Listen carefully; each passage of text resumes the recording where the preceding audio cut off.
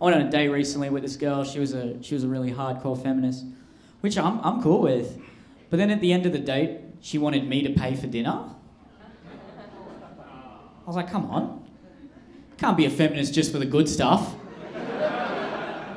Every time a man pays for dinner, he should be allowed one sexist joke at the girl's expense.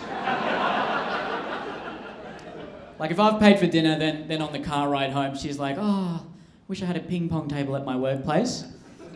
I get to be like, oh, come on, that'll never fit in the kitchen.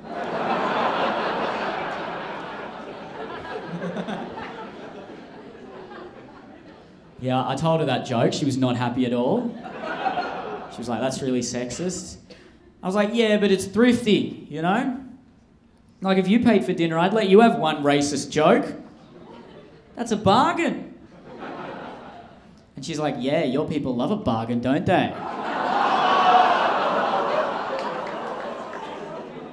Equality. I'm surprised she even went on a date with me.